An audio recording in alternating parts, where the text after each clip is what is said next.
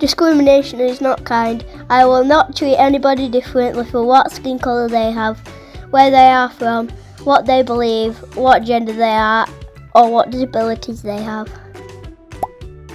If I hear or see something that's not kind, I will tell my coach. Before I say or do anything, I will always think is it kind and how will it make the other person feel? If I hear a word that I don't know, I will check with my coach if it is kind or not. It is important that my teammates and I show kindness to each other and the opposition. Win, lose, or draw, it's our job to be kind.